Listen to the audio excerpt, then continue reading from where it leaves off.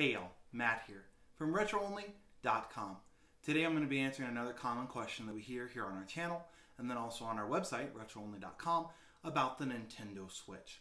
And that question is how do you charge the Switch or the Switch Joy-Cons controllers with the Switch dock?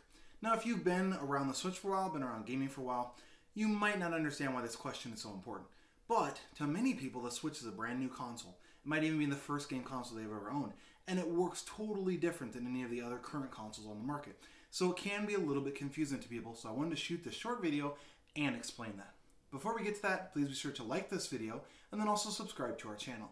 It really does help us out a lot and it also allows other people all around YouTube and the internet to get the answer to their question through these videos here that we're publishing on YouTube.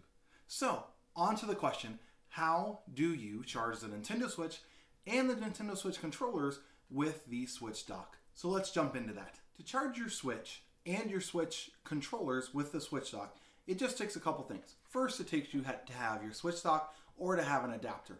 Most people, this will come right in the box, but if you lose this, break this, you can purchase an adapter on places like Amazon that you can use instead of this. But traditionally what you'll do is you'll just open up right the back on your Switch dock. And inside of there, there will be three different spots where you're gonna plug things in.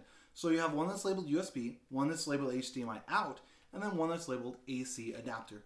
So for the AC adapter, you're simply going to plug in your Nintendo charger that comes inside the Switch box as well.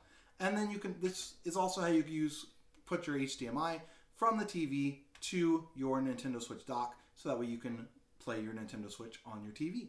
So you, if you're just going to charge, you're not, you don't have to connect the HDMI, but you're literally just going to plug the AC adapter right into the back of here. Then what you're going to do is you're simply going to sl slide the switch right down inside of there. Now if you'll notice, if you get it wrong, it won't go down. To get it right, you just simply center it and it simply sets right down there. There's nothing special that you have to do. There's not a special button that you have to push or a way that you have to exactly get it to catch just right. As long as it slides down on there and goes down, just like you'll see there, then it's on the charger and it's on the dock. You'll know that it's able to be charged or it's charging if you have it connected to the HDMI and it's working on your TV. That means your switch is connected to the dock. And as long as you're plugged into the power, which you'd have to be to be streaming to your TV, then the switch and the chargers will be charging. Now, if you have your switch controllers disconnected, if you have your Joy-Cons disconnected, and you have them say on this controller, or you just have them separate and you have them on your wrist straps, to charge them, all you have to do is simply slide them onto your switch while it is docked. And that's all you have to do to charge them, is you simply do it just like that. That's how easy it is to charge with your Switch dock. Now, if you broke your dock, or if you're not wanting to charge with your dock because you don't use your dock very much, you can also charge just simply by plugging your Nintendo AC adapter right into the bottom of your Nintendo Switch, like so. This will charge not only your Switch, but also the controllers if they're connected.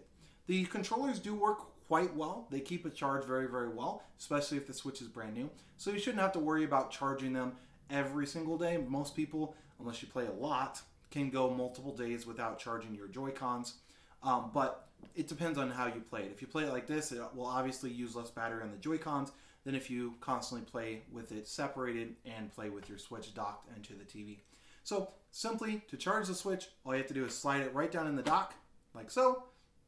And as long as your controllers are attached, that will start charging your Switch and start charging your controllers as long as you have the dock plugged into the wall using your AC adapter.